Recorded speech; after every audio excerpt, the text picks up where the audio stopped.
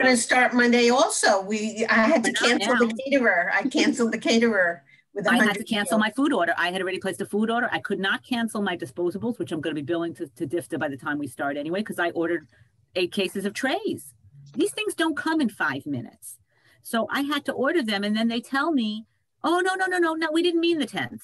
Well, yes, you did. It says 10th on the email. No, no, no, no, that's not how this works.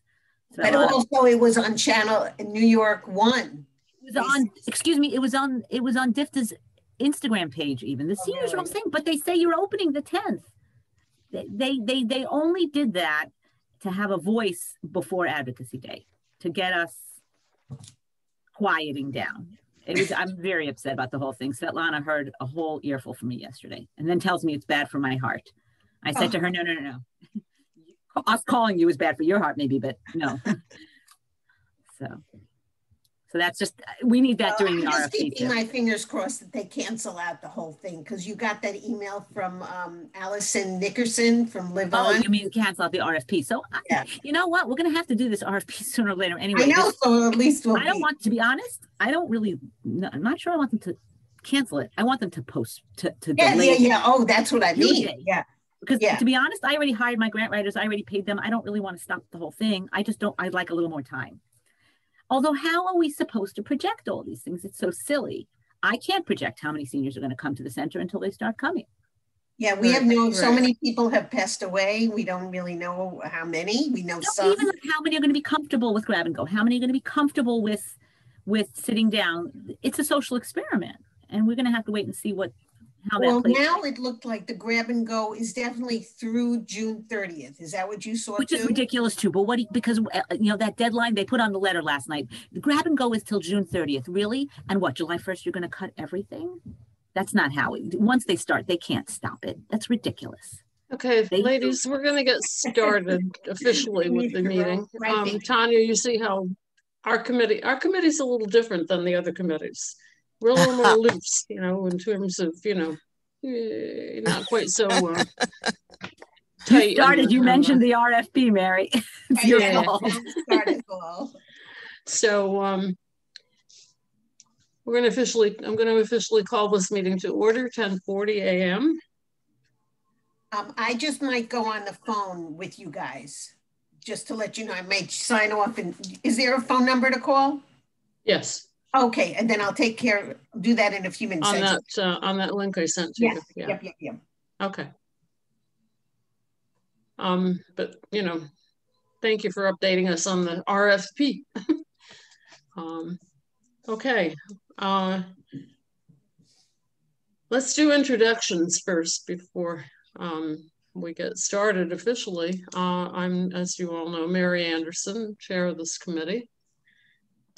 Um, Yosef? Sure. So hi, I'm Yosef Kalinsky, Assistant Chair. Happy to be here. Glennis? Alt tab, Zoom webinar. Hi, everyone. Zoom This is webinar. Glennis Aquino Gill. Thank you for joining us. Richard, welcome aboard. Thank We're you. doing introductions. I'm Richard. member of the committee. Um, Tanya, Hi, I'm Tanya. I'm a board member, Community Board 12, and I'm here to present.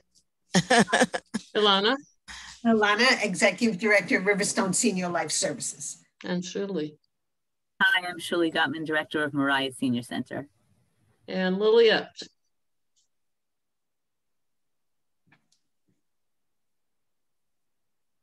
Liliet, Older. Can you hear me, Mary?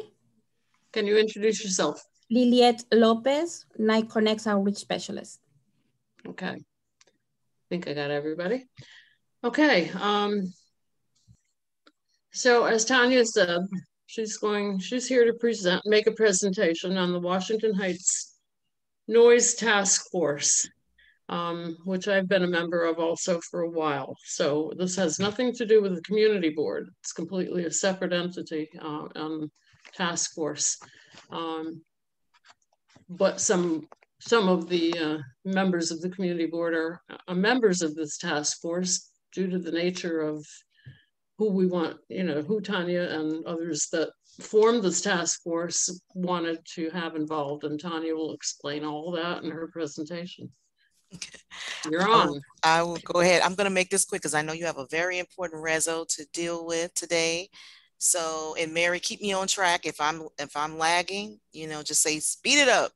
Yeah, we'll do. Okay. Okay, so as Mary said, this is the Wahi Inwood Task Force on Noise. Um, we uh, had our first meeting back in November. Um, we started because we had uh, a very rough summer in 2020. As many of you live around here know, um, we had a public hearing at the community board on August 4th of last year, where we had over 400 people attend, from what I'm told, and including people from New Jersey and other places. Um, and uh, from that, you know, at that at the hearing, I thought it would be a good idea to start a task force of some sort to sort of bring people together from the community to the elected officials to the city agencies to sort of try to figure this out and come up with some solutions. Um, and uh, the community really wanted this to be community led, as Mary said. They wanted this to to be something that was really grassroots that didn't have any governmental or any kind of political ties. They wanted the voice be theirs. And so that's really what happened. We we took a few months and we formed it. Um, we'll talk about the configuration um, uh, later in just a moment and why we chose people that we chose.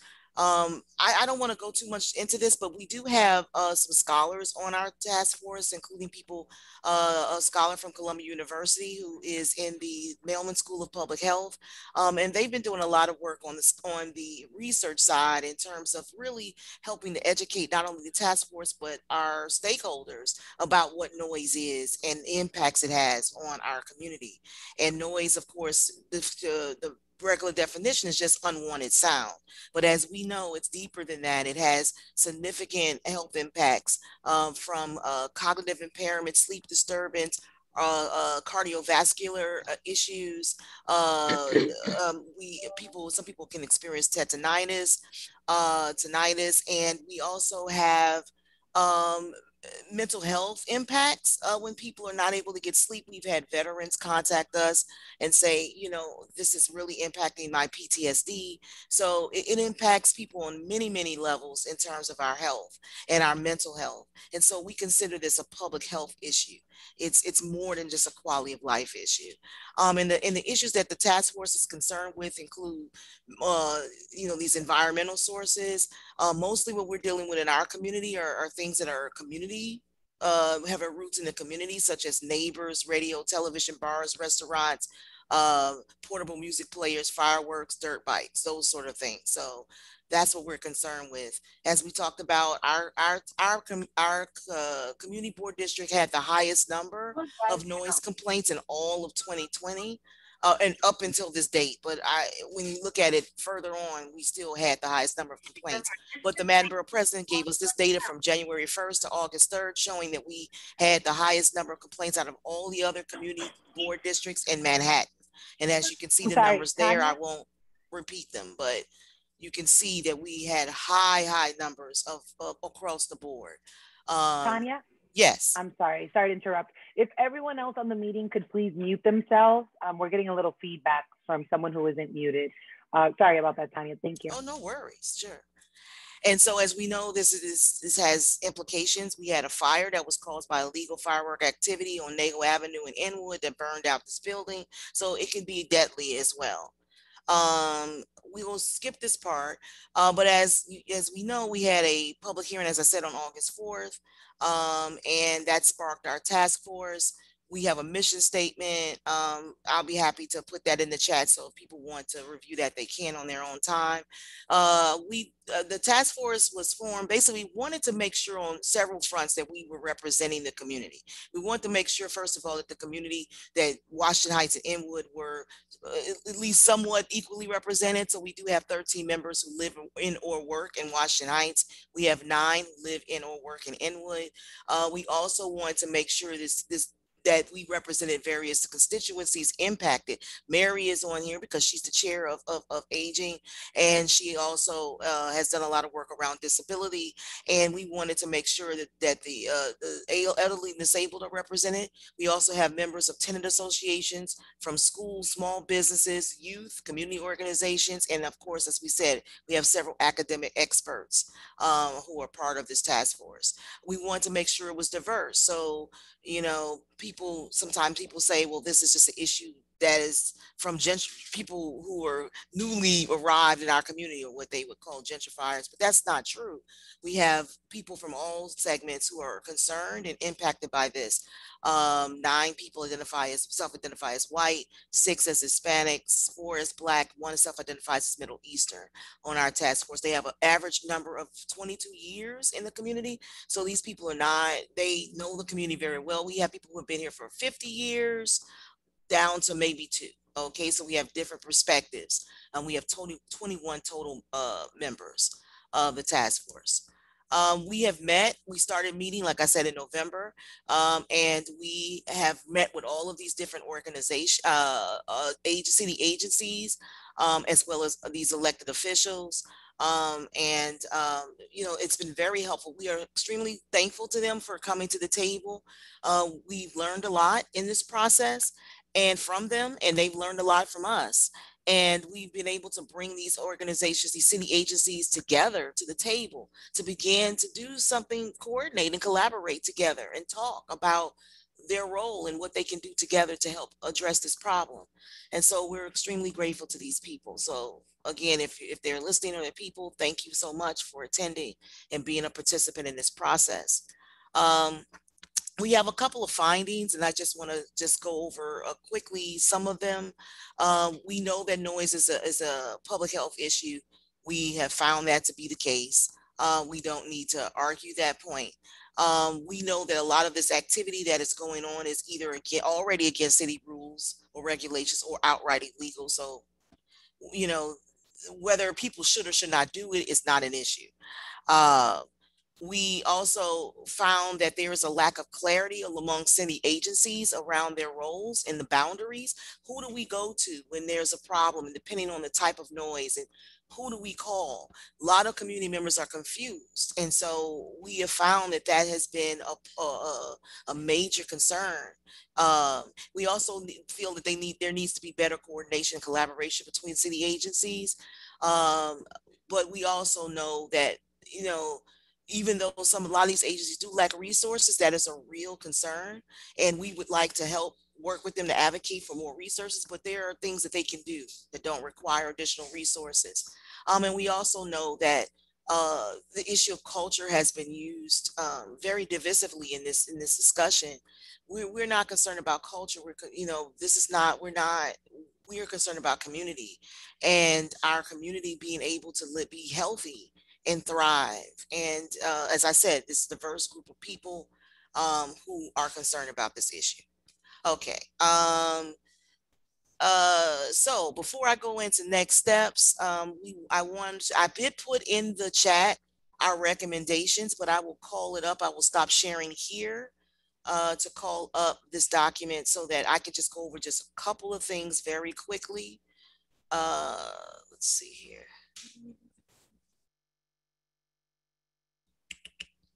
Sorry. You know, you think you have something up and it's not up. So give me one second.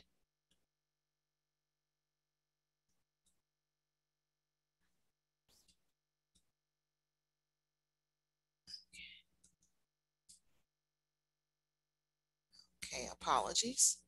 I'll start sharing my screen again.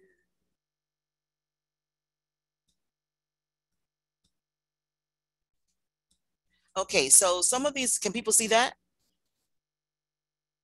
Okay, so one of the things that we wanted to do was start, uh, we wanted the mayor's office to really create a, a, a, a, a basically a chart so that people can understand what city agencies are responsible for what when it comes to noise violation enforcement.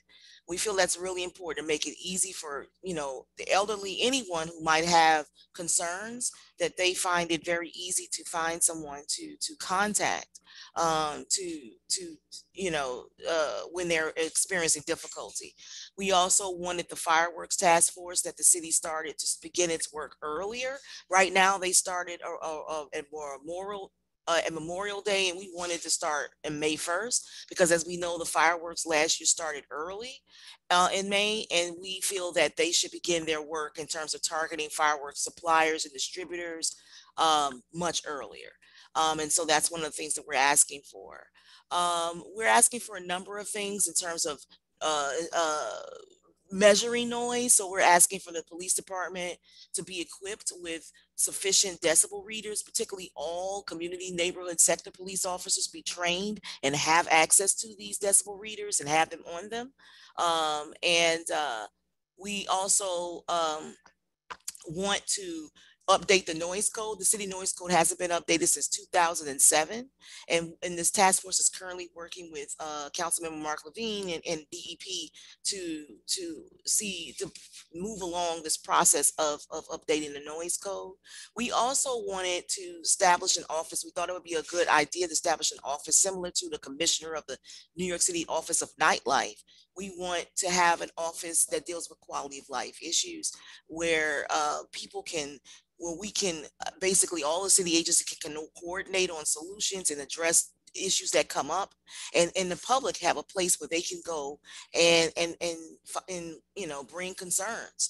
Because right now it's so many different agencies working in silos dealing with different aspects of this and it's really not a, a, a- a main uh, a contained space where this work can happen and we feel that it should be more organized more formal and uh, place and we think that we would like the city to consider uh, launching such an agency.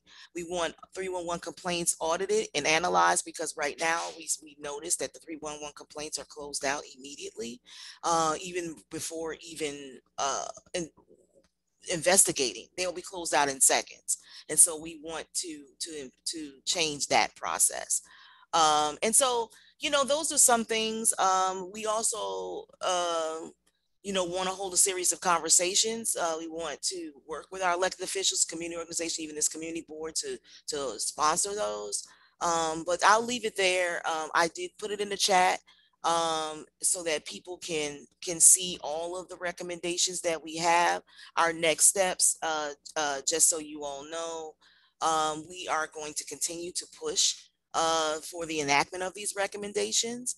We are, you know, going to continue our advocacy there and continue to meet um, to go over progress on these issues. So the work of the task force isn't done, but um, we're grateful to be to, at this point. And like I said, we had a lot of people at the table to help us better understand this issue.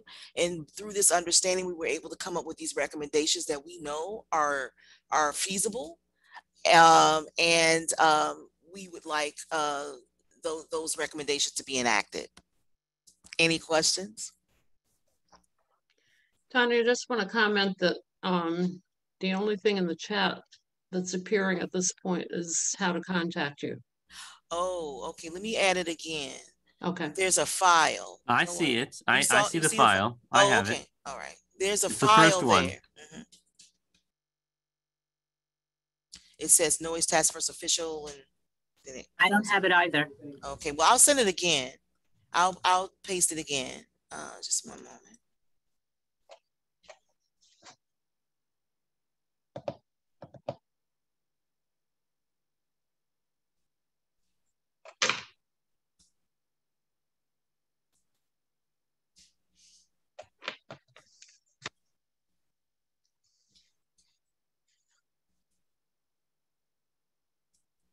Okay, people see it now?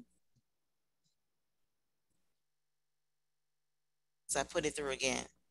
It's a file. Maybe I don't know how to see a file, but I don't see it. If you go to the chat, I'm in the chat. okay, um, it, because it Yeah, me says to all panelists and attendees. And so I put, it's a, it's a PDF. You don't see it? I don't see it. Yeah, either. it's yeah, it's But- not coming through for me either. Hmm. Uh, I have it. I, I'm going to incorporate it into the minutes as Okay, much as I can. Okay, Okay, great. Yeah, apologies. I don't know why it's not appearing for some people. Yeah, this Zoom sometimes does weird things. Maybe it Um, depends which kind of device you're on, perhaps. It could. Um, yeah, I just didn't want to because I know we're short on time and I didn't want to go through and read all of the the recommendations, but Okay, um, so it'll be in the minutes, so yeah, and I I will send out to everybody anyway. yeah, Okay, and that's fine.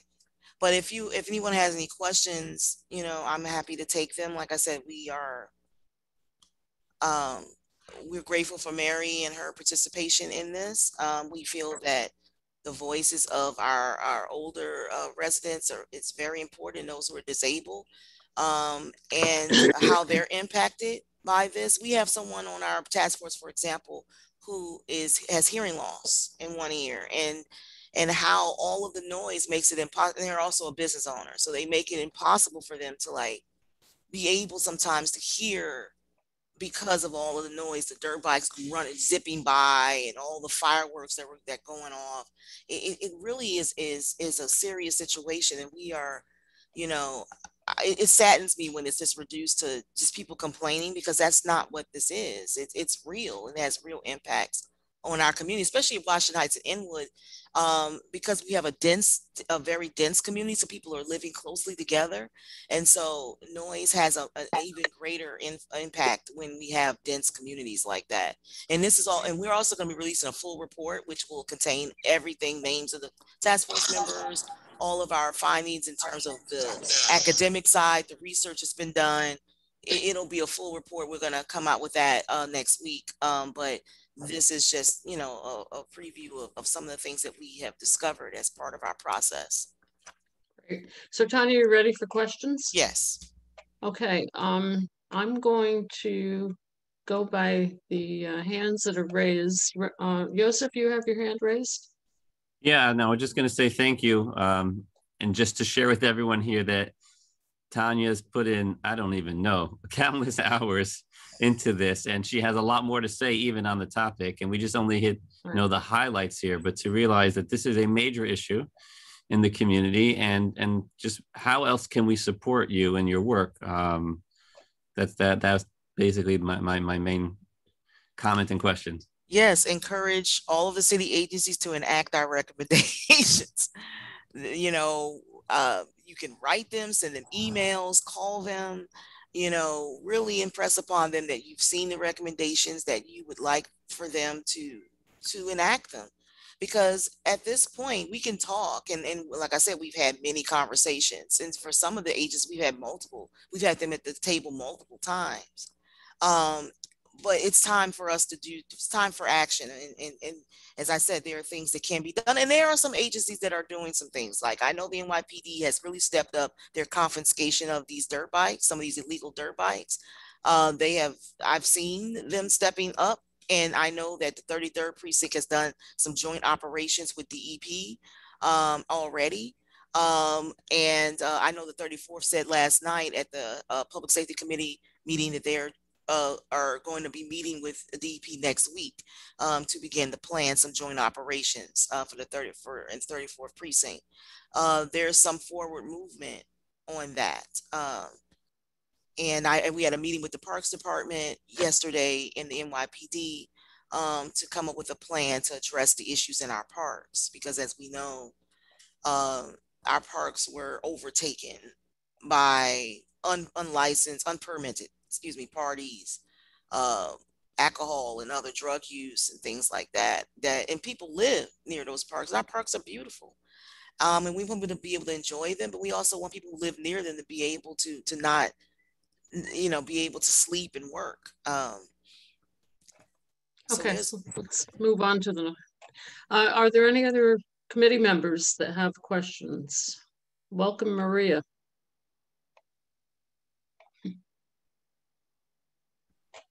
Thank you, Okay. Sonia, for the great presentation and all the work that you put into this. Thank you, Glennis. Okay, we have um other folks who have questions. Um, have Marielle Ali on the on the chat, well, on the uh, committee, on the uh, bleh, participants also, and she has her hand raised. Mar- Marielle?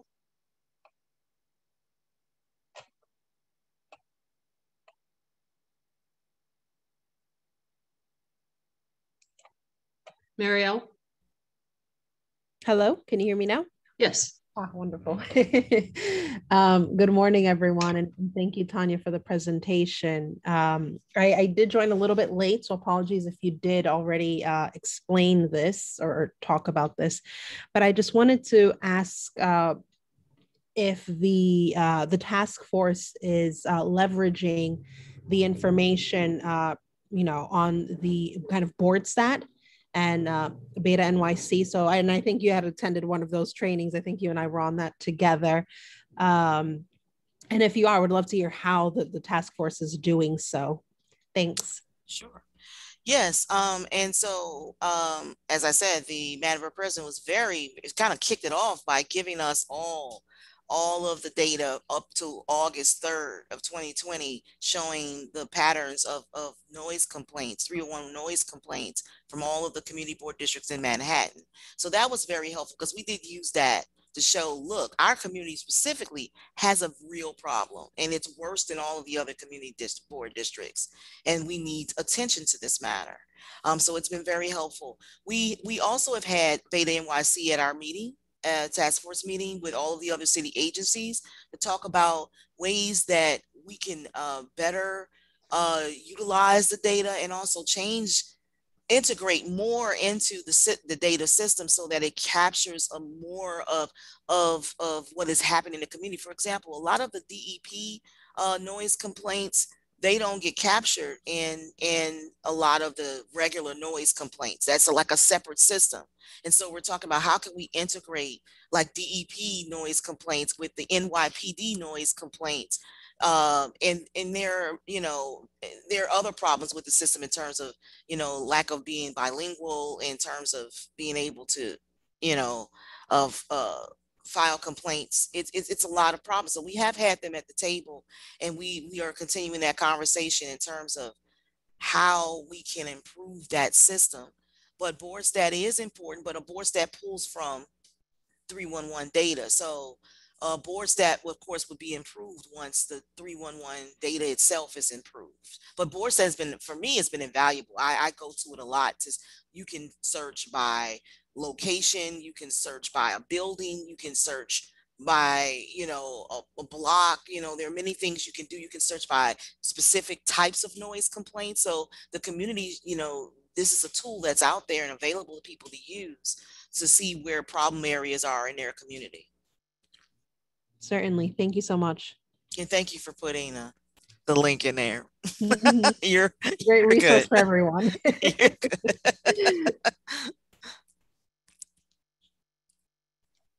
Okay, um, Dr. Gary, welcome. Yes, hello. Hi, Gary. You're on. I'm just uh, fixing my hair. Hi. Uh, thank you for uh, letting me speak. I guess you could see me. How, how, about my face? Can you see my face? I don't yes. know. But I can't, you could see my face, but I can't see myself on the screen. Well, yeah, I can see your, you know, your picture, but yeah, I see your picture. picture. Yes. My picture of me and my wifey. Or yes. My, oh, okay. I, I, I just I'm always so confused why in the time of COVID where we can't actually all actually see each other sometimes to speak like at the general meeting when they don't let me speak. But I'm not going to get into that. I'm. I just wanted no, to. Let's say, get back to the the reason you raised your hand. Oh, I raised my hand and I lowered it, but it was already raised. But I'll, I'll, take the opportunity to speak. I actually, I'll wait till the part where you guys are talking about the seniors going back into the.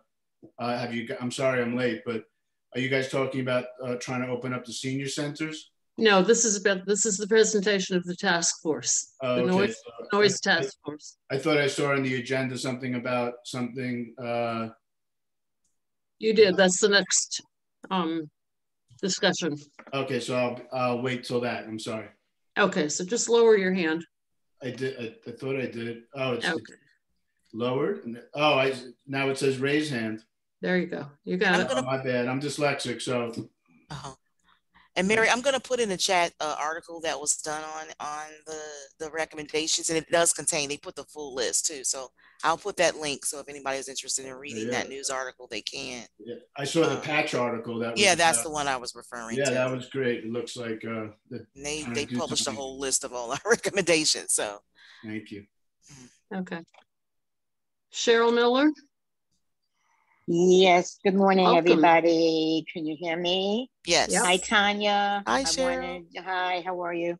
I'm just giving my kudos to Tanya. I've been, I was on the meeting last night and traffic and transportation, and I want to just give her my full support.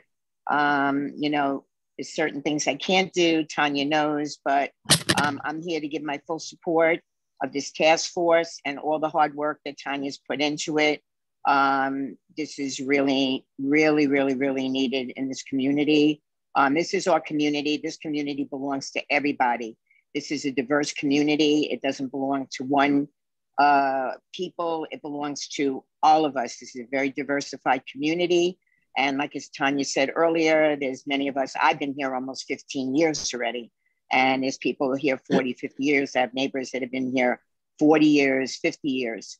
Um, and I know, and I'm a senior, and this is greatly affecting my health.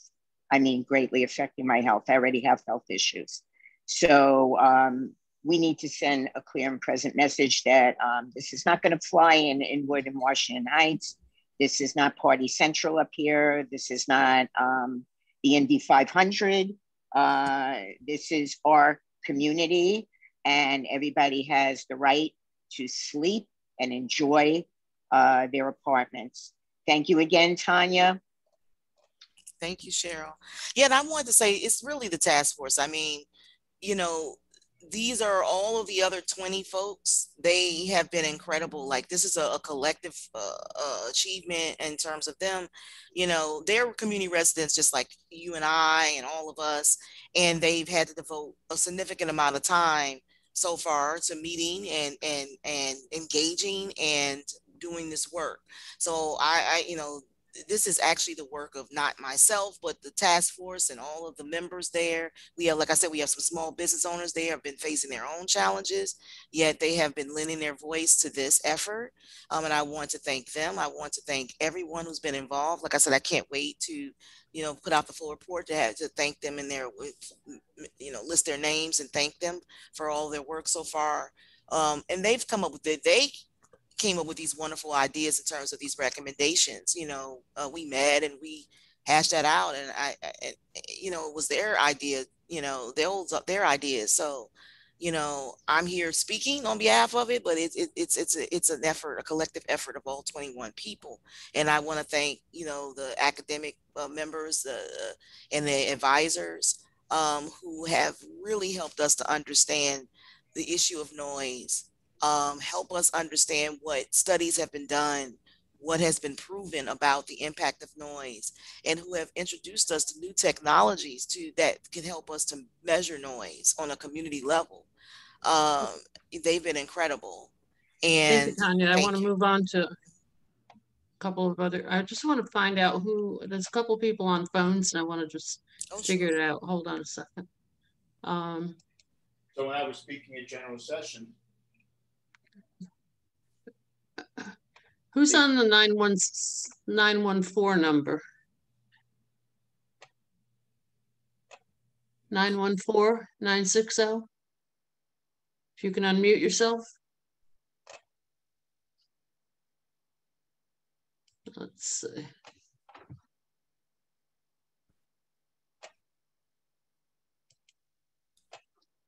Mary, Mary, that, the 914 number is Alana Dunner.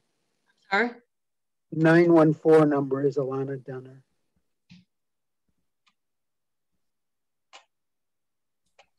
I'm sorry, I didn't hear you, Richard.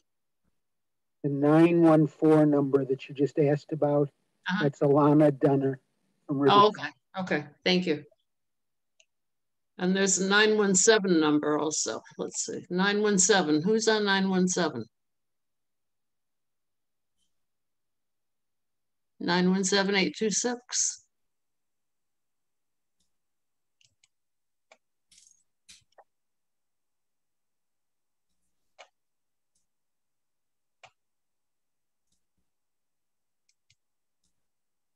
Of those might one of those might be Maria Luna. Um, I think you're right. Saying, she's right. in the chat and she's saying yeah. that she can she can't see us but she can hear us. Got she's it. on the phone. Okay. So I'm pretty sure the 917 number is Maria. Absolutely, you're right.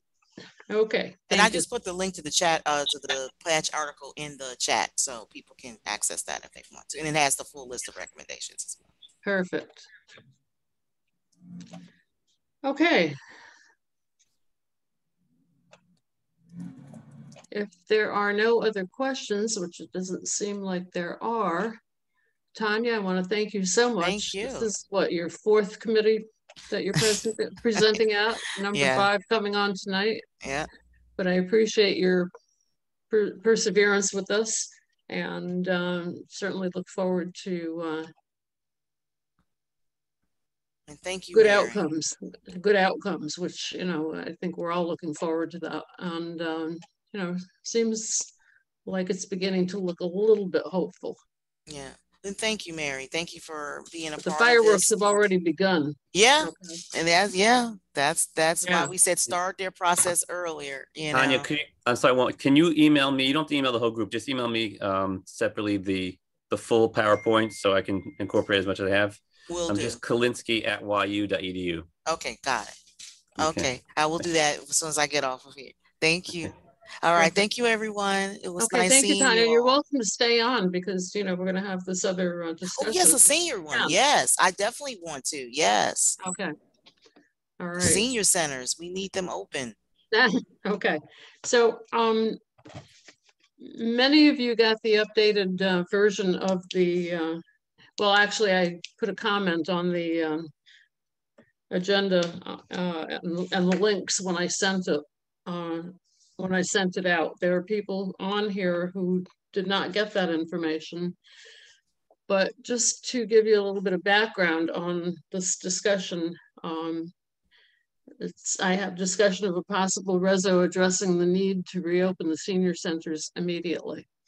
Um, I don't know how many of you know that Gail Brewer has been kind of bouncing around the city to a few senior centers to have rally slash, um, help me out, um, um, media, uh, what am I looking for the word? I've lost the word. Advocacy and more. Yeah, but I'm saying the, the rally, but also a media involved. You're saying it. Social media. No, live media, News. huh? Anyway, Maybe maybe you can just call it a of the- media, pre- media presence. one one of the one of the um, places that um, she opted with actually, uh, you know, being invited uh, to have this rally was at the Arc Senior Center on 174th Street near Broadway.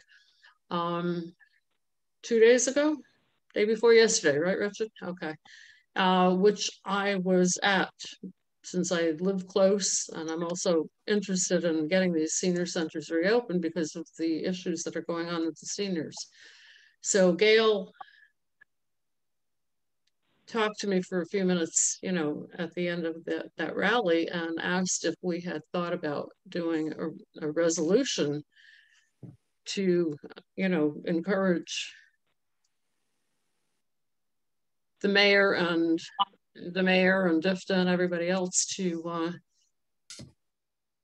get try to get these senior centers reopened quicker, like now, because of all that's going on with the seniors uh, in terms of social isolation and you know food desert and you know not being able to you know have access to healthy foods and exercise and socialization, et cetera, et cetera, et cetera.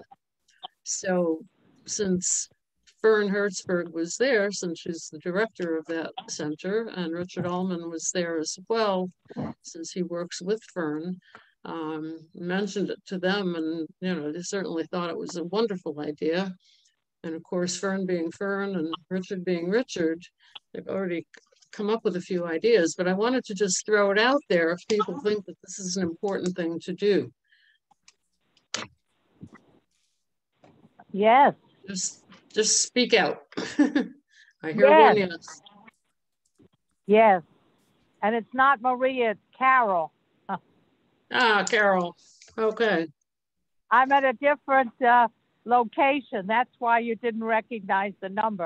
No I don't problem. see how it's a great idea. And by the way, they came to Dyckman before they went to ARC. So Uh-huh. we had a little input in it. And they actually did something quite clever.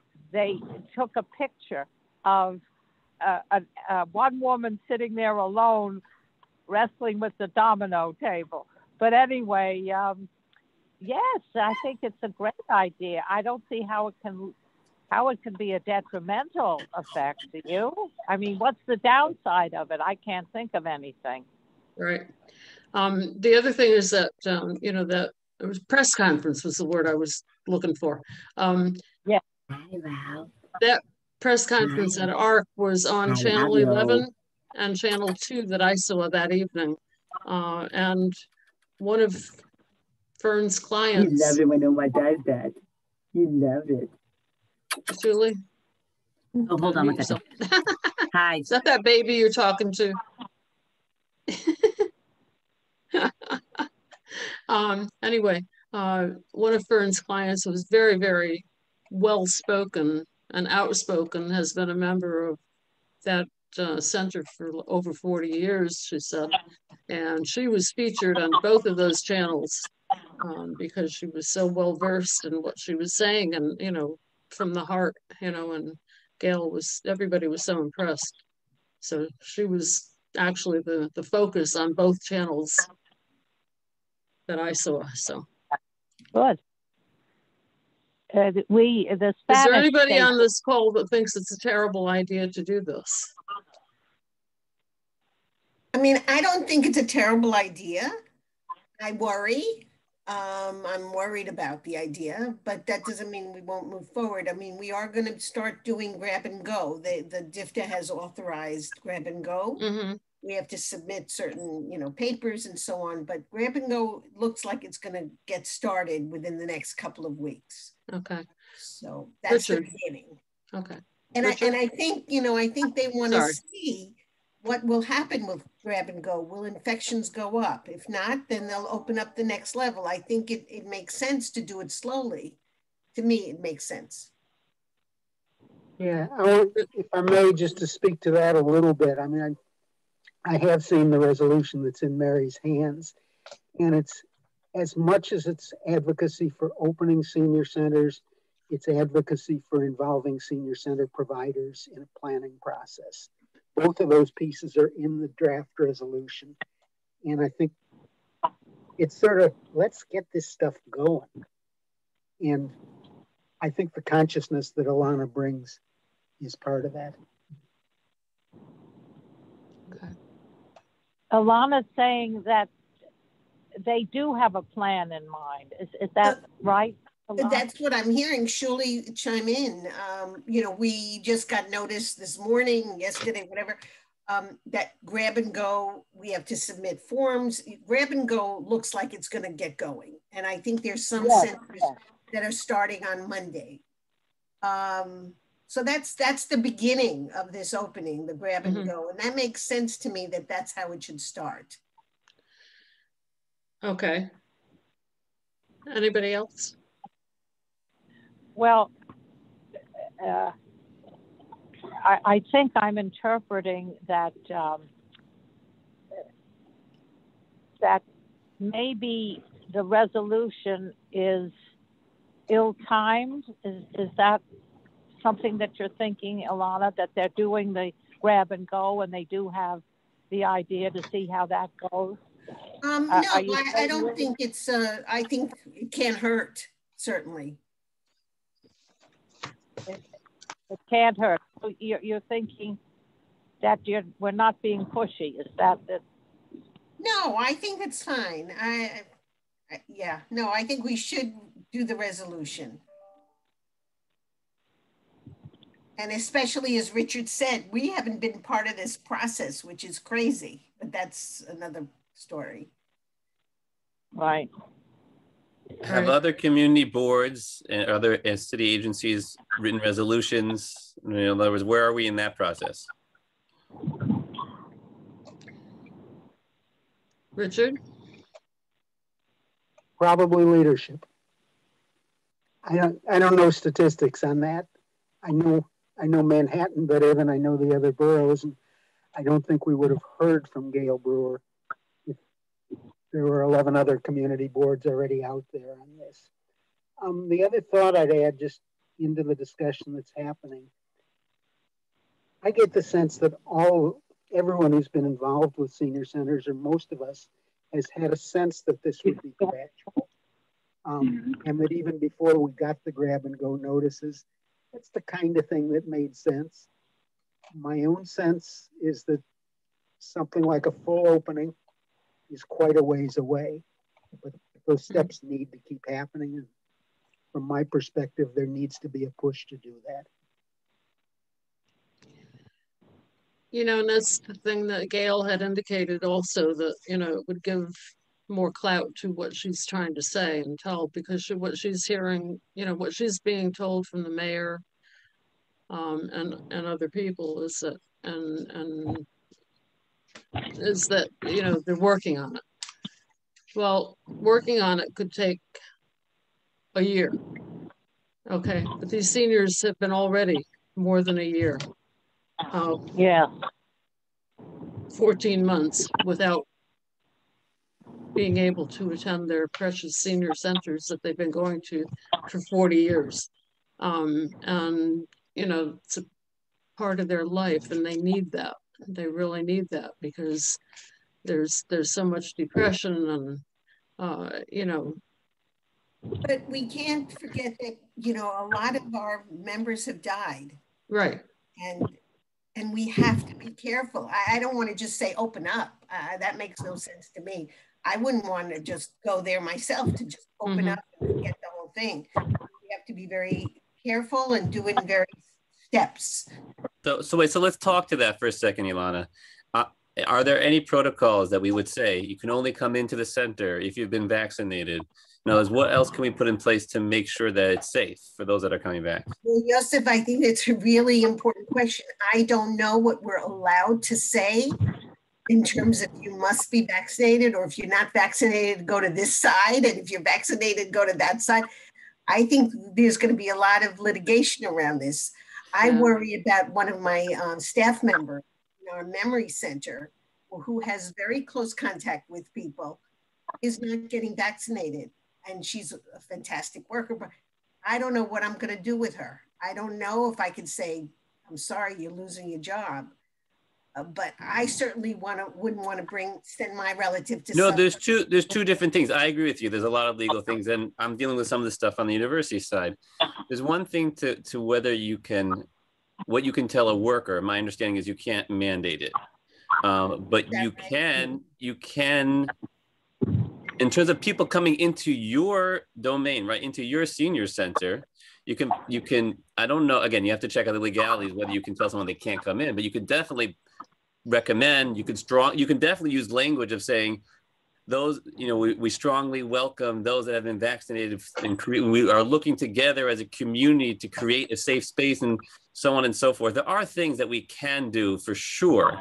Uh, in addition yes sh- there should be some legal counsel. Again i don't know who that is and how that works in the city uh, agencies and stuff but it would be silly you know to, to say everyone come back without having any guidance or any recommendations uh, related to vaccines? We're waiting for uh, guidance from Department for the Aged, for the health department. You know, some places have mandated vaccination notices, but you know, the colleges are, the air, airplanes are. I don't know. I don't know. The ball games are. right. And the impression I have it where we're going in that direction. What's that? Mandating vaccines. If you want to be a public citizen, you have to be responsible. And uh, yeah. So would we be able to say you have to show your card when you come in? If you don't have a card, then you're taking grab and go and you could have your lunch outside. I, I can't speak on the legal perspective, but I, I think these are the questions that need to be asked to council. Shuli, you want to say something? No, no, I was just gonna, like, I was just gonna repeat that I'm not sure that le- what our legal um, allowances are in this. I'm not sure as a city agency, and I'm sure we're gonna get guidance from the city what we can and cannot say. Um, of course, it would be easier. I'm wondering if certain activities could be high touch activities, if they could be restricted only to the vaccinated, but I'm not 100% sure again on the legality of that. Yeah. So for the grab and go, it's less problematic though. Right, right. Richard, any other thoughts? Well, I guess I read this as much in two ways, and one big part of that is kickstarting a better and more inclusive planning process. Um, do I do I think we should be going step by step? Yeah, grab and go being the first step of that. Um, and I guess I should be saying we as well as I. Um, that's the main thought. There's this blank wall we seem to be coming up against, and that's something we need to get past. Um, the couple of the times that I've seen CB, um, Yosef's question was on target. The times that I've seen CB12 take leadership on something, I think we've had real, real impacts that were worth the effort. Now, do we need to sign something, uh, Mary? If you have a, is there something for us to sign on to? Well, I think that, you know, what I want to do is read through um, what, you know, Fern and Richard were able to put, you know, put together because, you know, as representative of, you know, not only the committee, but of the senior center, um, the senior centers and, uh, you know, kind of look at, look at those items. Um, hold on just a second. Uh, I just want to allow the attendees, I've got a couple of attendees that want to speak. Let me do that and then we'll come back. Cheryl? Yes, hi. Um, okay, thank you for letting me um, speak. So, as a senior myself, uh, I even though I've never, you know, really gone to senior centers, but I understand, uh, you know, where there are a lot of elderly people and they really need that socialization. Um, what what to me irritates me is that um, while I understand that there needs to be guidance, there needs to, you can't just throw everybody back into a senior center. Um, but from what I've been reading, uh, a vast majority of the seniors have been vaccinated uh, in New York City. And um, to me, it's like, how is it, how is it, um, um, I can't think what I want to say how is it um, not an issue for the governor to be uh, just taking maximum capacity off of indoor dining? Uh, to me, when people are sitting at a bar, how is that? How is that different from letting seniors to go back into a senior center? Um, you know, to me, it's always like the elderly seems to be the least disenfranchised. Um, you know, and it's not right. And I applaud everybody for what they're doing. Gail Brewer and uh, Fern Hertzberg. I did see the uh, news clip. I did see her um, along with Mark Levine. I believe Council Member Mark Levine was there as well, um, supporting this. And uh, I think it's something that really, uh, really, um, I, I, I don't know who it would it would need to go to. I, I believe that Gail has been um, pounding the drum to Mayor De Blasio to uh, get this going. So being, I think, I don't know, senior centers are, are under city, not under state, um, I believe. So um, yeah, so I would think that this is something that um, people need to be, uh, you know, voicing to the mayor that this is, um, you know, because they're opening everything else, Broadway in September, and you know, uh, no crowd limits at arenas and sports stadiums in the next couple of weeks And yet the seniors are just, well, who cares about them? And it's not right. So I, I greatly support what you're doing, Mary, in um, getting these senior centers open. Thank you. And Cheryl, must and and getting and having the gyms reopen. Gail was like, Ugh, about that. Yeah, exactly. gyms. I Everybody mean, you breathing know, on what's everybody. The importance of the gym over the senior centers. Exactly, exactly. Uh, I agree certainly with Cheryl. I just, maybe I'm naive. I'm not attributing these negative things to why senior centers are on- on the last of the line. Uh, You know, again, maybe naive, um, and I'll accept that, but I, I think seniors are the ones that mostly, you know, have passed away, mostly died, and they're the most vulnerable. So I understand that they may be the last on the list rather than we're forgotten, but I may be totally nuts if that's. You know, I don't would tend to agree with Alana on that, that the fear is coming from a place of a fear of liability. But I really do think that that it is time, especially since the seniors were the first ones to get vaccinated. I think That's right. that their level of readiness to and and we have to consider their mental health too. And we all know how hard it's been on all of us mental health wise, seniors especially. And that's a big part of their health puzzle also I'm- when you're you know, talking about liability. I mean, I'm a senior and I know how I dealt with, you know, 'cause, you know, came back from, you know, my time away and everything was closed. And I said, oh my God, you know, what am I going to do? And of course, what I did was end up, you know, adopting two cats. so, you That's know, took care of my depression. Um, let me just uh, have one more person. Dr. Gary? Let's see. Yes. Go-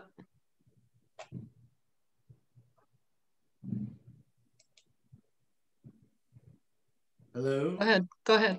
Okay. Hi, Alana. Hi, Gary. Hi, Fern. Hi, Fern. Hey, Alana. Hey, Fern. How are the seniors? Hi, So, Mary.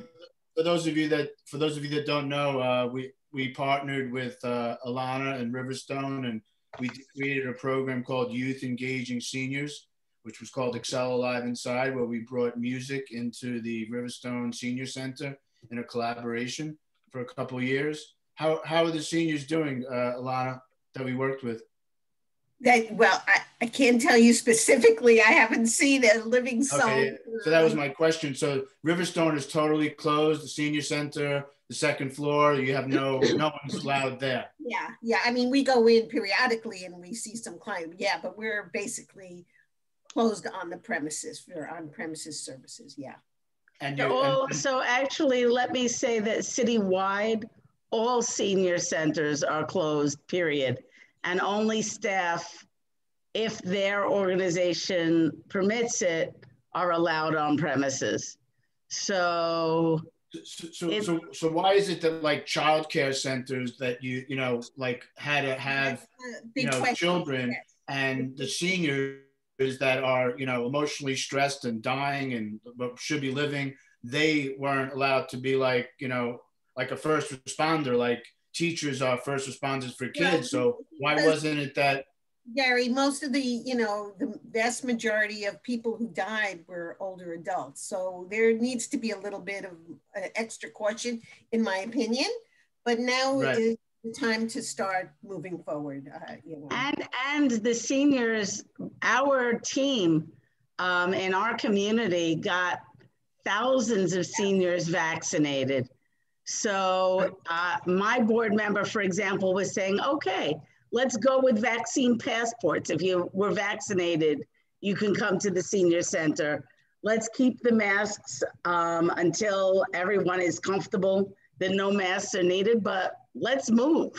And grab and go is not what people want. What people want is to socialize, as I'm sure you understand. Fern, let me Yes. ask you this. We were talking about this. We don't know if it's legally allowed to say, come in if you're vaccinated, don't come in if you don't. That's where we're. That, so that is actually up to the Department of Health to determine, but that was my board member's suggestion for um, easing, easing the stress and the concern. Um, to have staff who are not vaccinated continue virtual work from home if they can, to furlough people who are not able to do their work if they don't come in and they're not vaccinated, but to address it and move forward. This stagnation for the last few months is insane. Every call from every senior that we get is when are you going to open? When are you going to open? When are you going to open? So, from my point of view, give us guidelines and let us do what we do best. Yes. I'm sorry. And I gotta so- say, I just want to say that, you know, I at hope that you guys press can hear me. My conference. connection, I don't know if it's.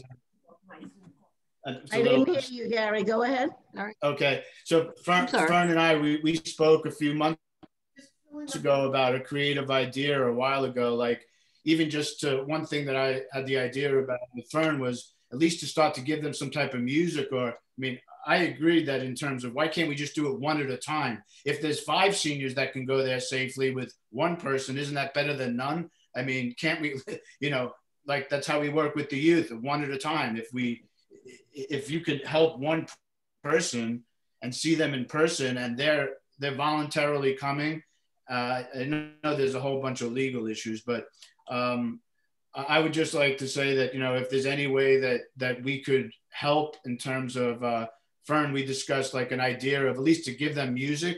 So the way that one of our programs works was that we downloaded musical playlists for the seniors and we gave them headsets. Uh, obviously, I don't think that that substitutes for you know being in person, but they need help, and music is, I think, one of the best ways to help them. So if we had a team of youth that could load up the headsets in collaboration with the Summer Youth Employment Program, and then we were able to at least interact with them virtually until we could do it in person, and then give them headsets. Of course, that's all about funding. Uh, so that's one idea.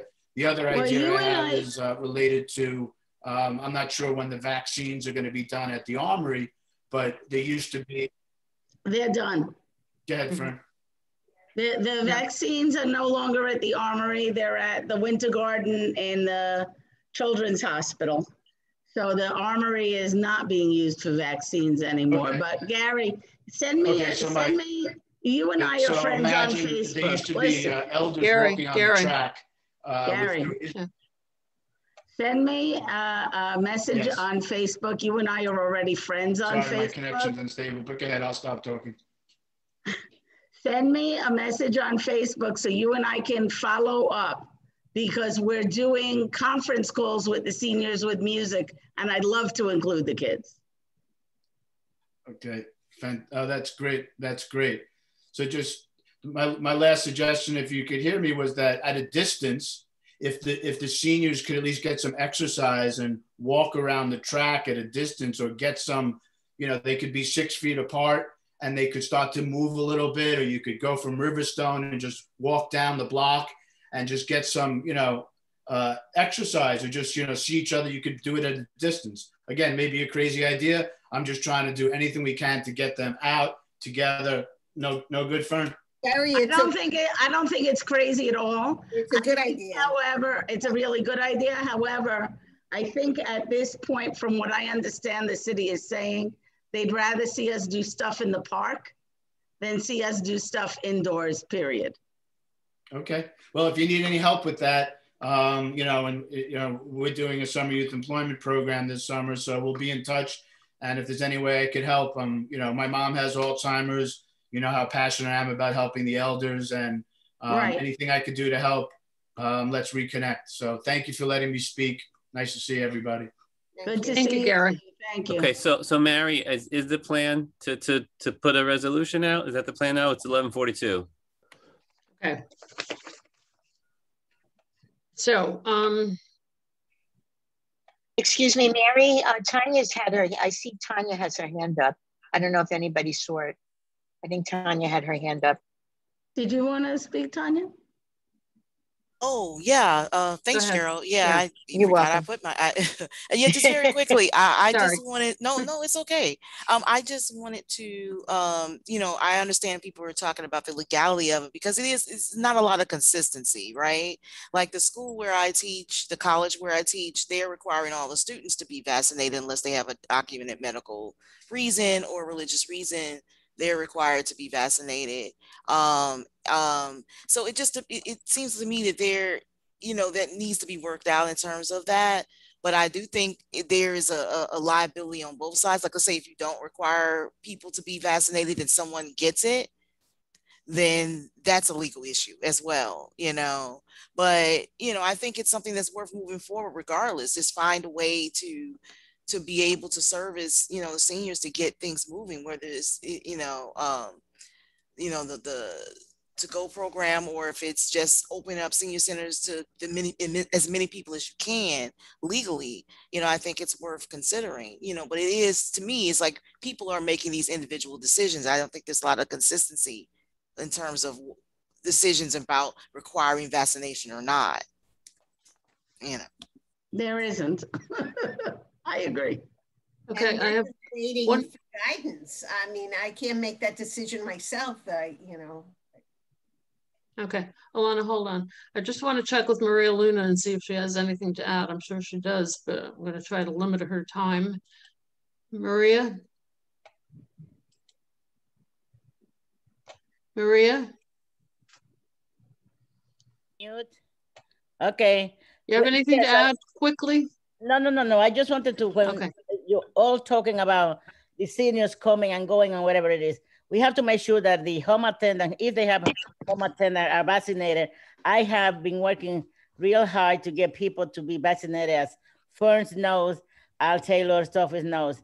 Um, a lot of people that are resistant to do that, uh, they are home attendants. So I need to protect these seniors. I love to see them dancing and, and listening to music. This is not only the only thing that we need to, we need to protect them. And that is my, you know, uh, something that I need to enforce. Uh, we all want them to have, a, I mean, including myself. I would like to go out. I like to go and listen to music and jump on the street and things like that. Is that if that's necessary. But that I need to make sure that not our senior, including I, I lost four people in my family, four people Mm. last year, and including like this year, three people of my, you know, my family had died, and they were really, uh, and this is very upsetting to me to hear that everybody wants to go back to the senior center. It is important, but we need to make sure that they are the ones that are, uh, you know, protected by us. We are protecting, uh, you know, our seniors. As far as uh, dancing and jumping and music is concerned, uh, even even the religious institution, the churches, are being, you know, are being uh, concerned about having most of the seniors go to churches. Uh, so they they really, uh, you know, I mean, I, I just don't want to jump into the thing and then go back and say, listen, this is what's happening. I'm sorry, but this is my uh, my concern. Thank you. Thank you. I agree. I agree. I agree, Maria, that we do it slowly. We're going to do it slowly. We have to make some decisions. We have to get some guidance about vaccinated, not vaccinated. Um, and then start with the grab and go. I, I, uh, unlike some of you, I believe grab and go is the way to start. And one more one more thing, I'm sorry, but uh, about the interaction between the young people and the and the elder and the elderly, we need to make sure that the young people are also vaccinated. How many are they vaccinated? I mean, when was that initiated? Uh, recently, the governor and, and the mayor they all jumping, uh, you know, killing each other on the television, uh, and they are they are really really not thinking about the ramifications of having people on the street when the young people are not being vaccinated. So I just, uh, uh, you know, I will keep them away from each other. Okay, thank you. So I think the way to go at this point is for me to read what, you know, Fern and Richard were wisely able to put together. Um, I don't know if I can, I don't know if I can, I don't know. Fern, you have an idea what the best way to do this is? Um, I would do a screen share. Richard, do you have it in a way that you can screen share it? I have it. I don't know if there were any edits after I left, but it, I have what's close to. Um, I don't have a lot of experience with screen share, but I'll try. You should um, I don't have ask any, so- Ebenezer. Is Ebenezer still on this call? Yes. Ebenezer? Ask him to, can you set it up for screen share for Richard? Richard, yes, one second. Thank you.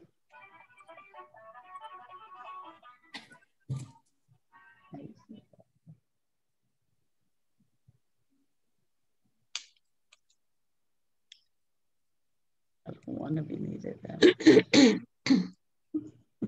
There you go.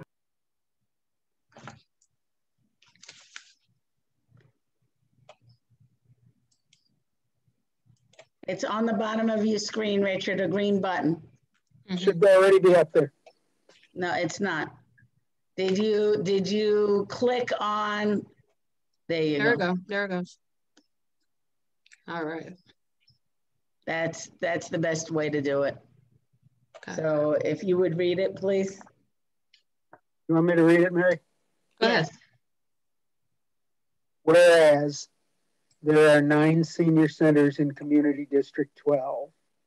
Whereas over 10,000 senior citizens are served annually by local senior, also known as older adult centers.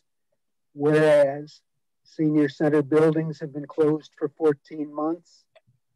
Whereas offices, restaurants, gyms, and other gathering places are being reopened. Whereas seniors are often living alone and or isolated from family and friends. Whereas senior centers meet a wide range of needs and connections for their members and participants and connect them with additional critical services. Whereas many seniors live in food deserts and or face additional challenges in obtaining and preparing healthy food. And here's the core of it. Whereas the mental, physical, and nutritional well-being of older New Yorkers is at growing risk from the continued closure of senior centers. Further, whereas seniors throughout the city are speaking out about the impact that these closures are having on their lives. Whereas LiveOn New York and Manhattan Borough President Gale Brewer are providing leadership to amplify senior voices. And for a little bit of fun, whereas Mayor Bill de Blasio is himself becoming his senior on his birthday this Saturday, even though that isn't exactly what the resolution says.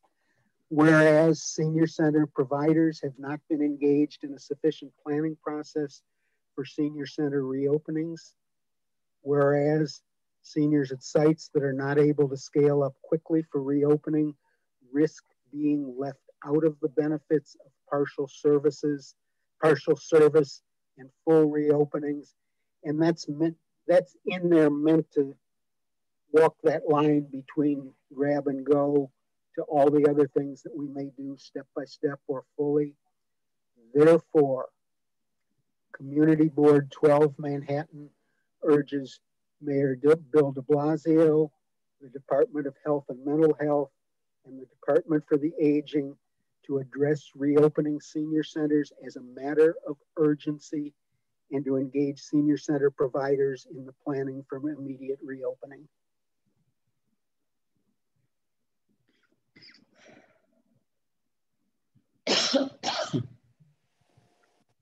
Mary, you're on mute, honey. Sorry. um, okay. Um, comments from the committee?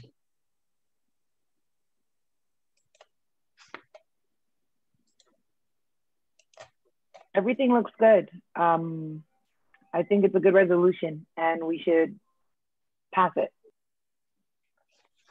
Obviously, I wrote it and I support it. So, uh, or actually, Richard wrote it under my urging, but I support it and I believe in it because I think later is worse, not better.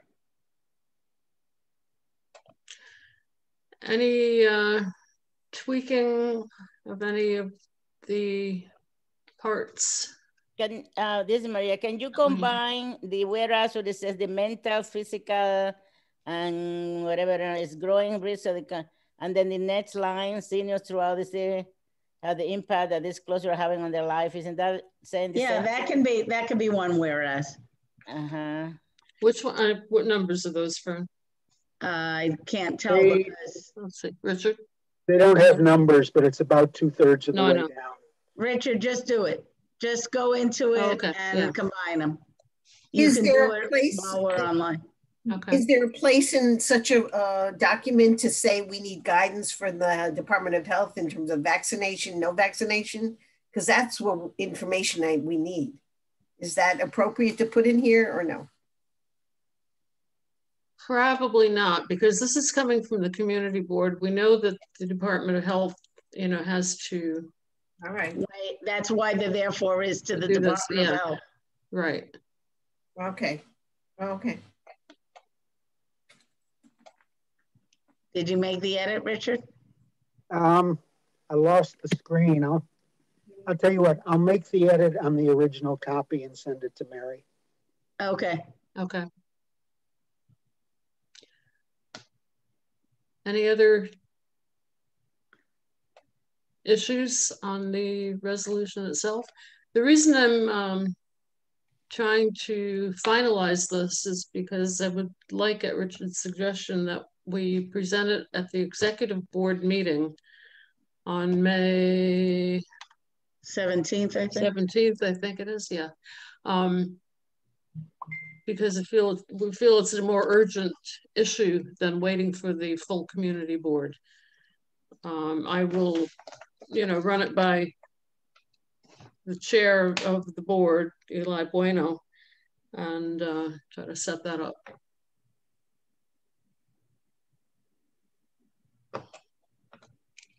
So Let's take I'd a like vote. to do, Let's take a Vote. vote on the resolution. I was gonna say, let's, let's, let's move to a vote. Okay.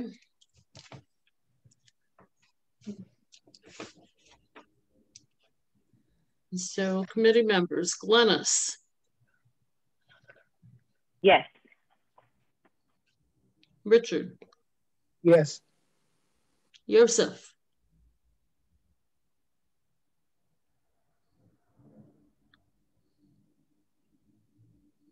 Yosef?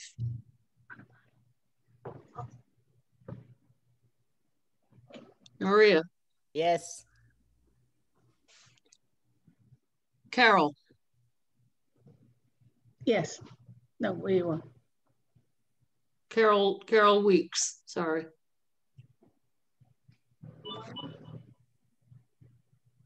Carol Weeks, are you there? Fern, Yes. and I vote yes. I vote yes as well. I'm sorry if you, if I could didn't answer before. That's okay. All right, um, community board members, Tanya, Yes. Older, Marielle, Alt tab, JAWS Pro, Alt tab, post attendee, Alt tab, please sign. somebody needs to mute themselves. Lilia, uh, is that you? I think it's Liliet. Sorry, Yeah. My Okay, headphones came up. Marielle, are you still on the call?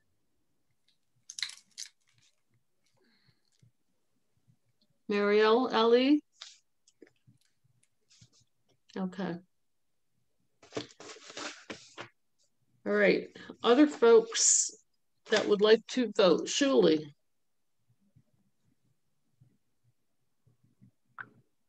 Shu- Shuli? Yes, I vote yes. Okay, Ilana, Yeah, yeah. lady,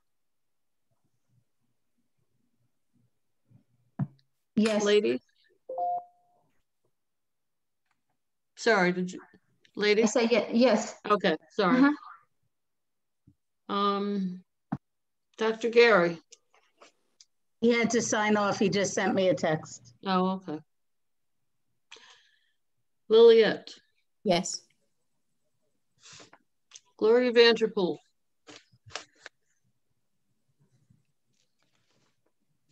Probably have to unmute these folks, let's see. Uh, Richard, could you unshare your screen? Thank you. Let's see if I can figure this out. Uh, Gloria.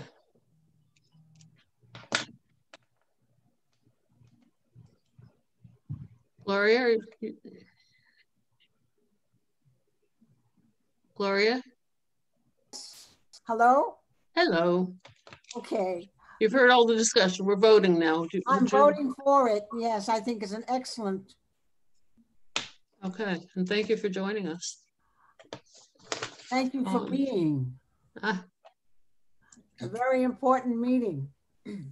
Verna? I don't think Verna can vote. Oh. I okay. abstain. Sure. Can you hear me? Yes. I can hear you, Okay. but I don't think you can vote on this. You're right. Oh, Um, I cannot. I yeah. cannot. Okay. Um.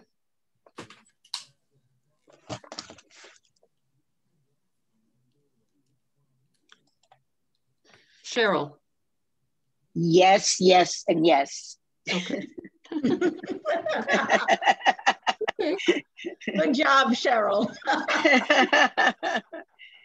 So raise your three hands, please.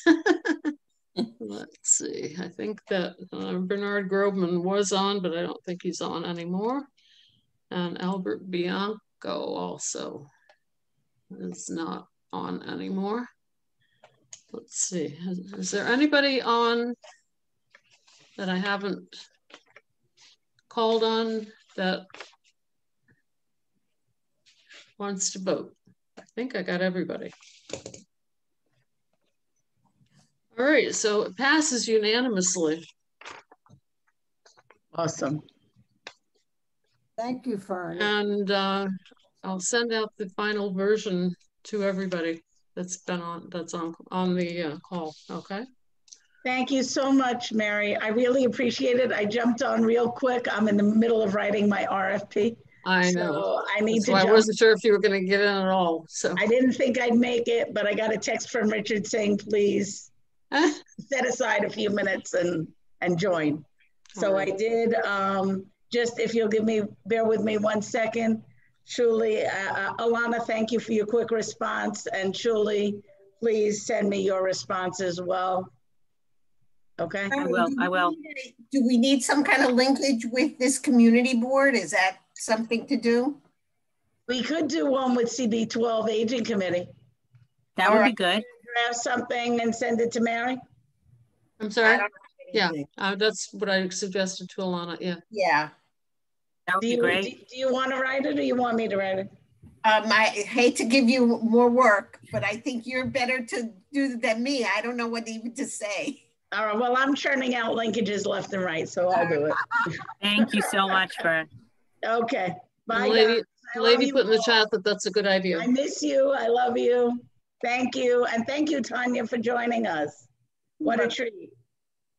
Talk to everybody soon, and I hope I see you all at the Waikoa Conference on May 13th. That's Nice what I seeing was you, gonna, Fern. yeah, Nice Just- seeing you. Just I let had that on my uh, Just for your info, announcement list. We're having a sta- on the site staff meeting on Monday for the first time, just to let you know. Awesome, You know? awesome. Yeah, what, we had 60 people in front of the senior center on Tuesday for the picketing, and we wow. got citywide coverage. I know there was a Um, lot. You're, listen, Mary, Mary was the star of the TV programs. I caught channel 11 and channel 2, and Mary was right up there. Even on 47, although they started with Desalina, the one who spoke in Spanish, Uh-huh. followed up with Mary in English as well. Okay, cool. My sign got on channel 11 too, so. Awesome. Thank you all. Thank All you. right, um, so we're gonna, the rest of the uh, agenda, you know, discussion about the capital expense budget will be on next month's agenda. We uh, just weren't able to with this new uh, discussion, uh, able to get to it, so that'll be on next month's agenda. And uh, so we're ready to close the meeting, I think, yes? Yes, A second? Seconded. Okay.